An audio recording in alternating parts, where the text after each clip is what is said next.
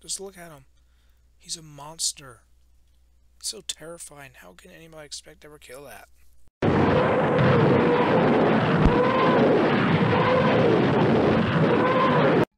Hello everybody, this is LemmingAid. I am doing a custom campaign review of Attila's Rivals, where instead of playing as Attila in his campaign, you play as his enemies, and the role is reversed.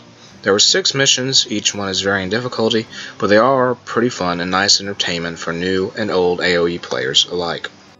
Mission 1 Beginning the first mission, you start with a little camp with both Attila and his brother Bleda, who are about to depart on an epic boar hunt. But what would happen if Attila was to have a little accident.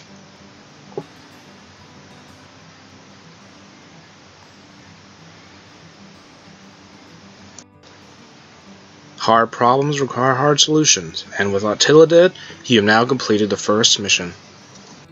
While that's the easy way out, the game and hints suggest that you should take the Tarkans you have at the start of the game and help ambush Attila using Bleda your archers and these Tarkans to attack him and gang up on him. The reason why is because Attila will beat Bleda and the archers if they attack him alone. A little help from the Attila the Hun is once again dead. Now, Blood of the Hun may be the one who won, but he's never seen again. I assume he became a pig farmer. Mission 2 Starting the scenario, we are playing as what would be the Eastern Roman Empire in a normal campaign. There are many allies all around the map, and only one enemy. Introducing all of them, there is Naissus, Adrianople,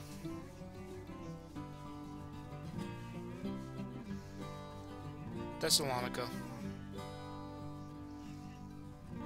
Diohatrium, and Sophia. Also, I am introducing not Attila. Instead of Attila, we now have an impostor to fight. While the Scythians are here, they don't do much of note, and the Huns themselves, starting off as a little horde, will begin traveling around the map, attacking resources and villagers who are isolated from the others. While my allies are busy, distracted playing a game of chase with a Tarkan, the Huns themselves are busy up in the north, preparing battering rams to siege down Red, but thanks to these outposts, we'll get the drop on them. I never knew that every forest came with several men carrying explosives and a lot of wolves. After building a wall to protect my Micha, I mean allies, the Huns have begun attempting to convert my cav archers despite being a civilization with atheism. Even with the lack of a huge ocean, the AI has attempted to begin making naval vessels to fight me on land. Island the impostor was prepared for a castle to be shooting at his boats on the river. The invaders have been invaded. The Huns were unable to make an effective counter against my cav archer spam and will now have their town center destroyed.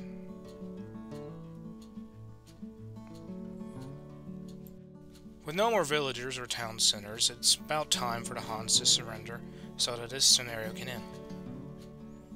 And there we go, the Huns have surrendered. Next up is Mission 3. Mission 3. Beginning the scenario, the player has taken the place of Constantinople. We are looking to stop the Huns from gathering 10,000 gold, which is done naturally and by destroying markets, town centers, docks, and killing trade carts and trade cogs. The good news is, the hints do inform me that the Huns will start pretty weak. This trade cog may have a problem. Like the last map, you do have allies, but you only have two this time, being Philippopolis in the north, and Marcianopolis, who is significantly smaller and without walls, to the south. Seeing that the Huns are, again, a relative pushover, it is only kind to push when we have this many resources. They should stand no chance. After massacring some villagers, I have realized that there is now another impostor of Attila, now this one claiming to be Attila II. This Attila II must be a smart guy and invented a cloaking device because it seems I can't find the last villager I need to make him resign. With no more villagers left and only one building remaining, I've decided it was fitting to convert the last remaining building win this scenario. Mission 4 Beginning Mission 4, we are now Orleans, a well fortified city whose main goal is to defeat the Huns, as their main goal is to defeat us and our allies. Speaking of which, in the north we have the Red Metz with a castle, and in the south the Purple Burgundy. The Western Roman Empire is here, but they don't play much of a use. The Huns have a very weak start and should be defeated with a good old cavalry rush. Using your larger base and superior Frankish knights, it is very easy to stop the Huns from making an economy at all to even fight against you in the first place.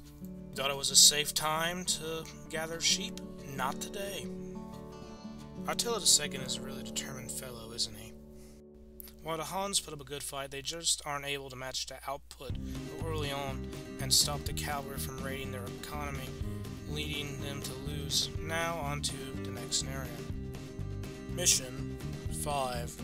Ah, the Catalaunian Fields, where everybody's favorite skull-obsessed monk became a man. This time we're playing as the Western Roman Empire. We have several allies, including the Franks, who consist of burning buildings and a scout, the Green Visigoths, and the Teal Alans, while we are now fighting the Naxos da Attila.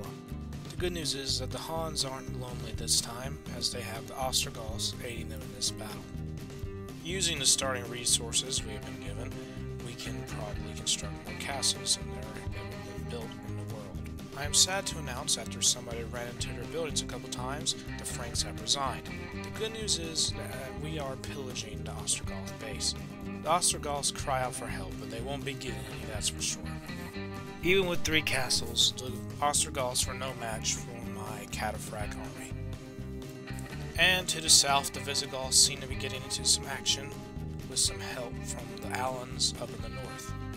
They are honestly doing a lot better than I thought they would be doing, considering that the other allies in this campaign so far have been pretty pathetic. I'm just so proud of the Visigoths and the Alans as they have basically killed the Huns all by themselves. And it's so amazing to see them just wiping them out left and right. And this scenario is about to end, I believe, as there are no villagers. Wait, isn't Denox's Attila just Attila? Mission 6. Here we have the final mission where we play as and to the north we have the allies Aquileia. Moving down to purple we have Padua. Green as Milan.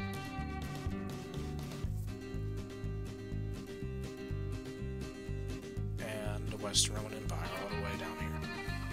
No longer fighting Attila II's forces, we are now fighting Attila II himself. This is the best Huns performance I've seen the entire campaign, and look, what's this? Is that Attila II? Look at those stats! Just look at him. He's a monster. It's so terrifying, how can anybody expect to ever kill that? I'm just sending some light cav to see just how strong he is, and they're just not going to do anything but tickle him. Look at that health. He's hardly losing anything at all with those stats. It's absurd. It's insane. This is going to take a while. I know it. Aquileia getting in on um, some of the action here with an army of scorpions and knights. Pawns have been defeated, but that's not how you win this scenario. You have to kill Attila II and somehow find a way to kill him. Even the heavy cav archers are just doing nothing, and he just shrugs it off and his horse has rocket boots. They have to be. It just comes with being a Space Lord Emperor, I guess. You could say I have an explosive plan. Time to begin Operation Aetius, and let's see how effective they're going to be. They are doing hardly nothing but making a light show. Well, that's just unfortunate. I decided to garrison my castle with tons of archers. This is just becoming a war of attrition with Attila. With his attention focused on the town center, this would be a good time to deal some damage without him attacking us. The attempt to capture him inside of a zoo enclosure has gone horribly wrong, but he seems to be getting stuck on the walls anyway, so can be redeemed. With arrows firing from every direction and even Archer getting in on some of the action, Attila, the Space Lord Emperor, has been killed. winning the mission. This was Attila Rivals campaign, very fun. Make sure to subscribe to it on Steam Workshop. Bye.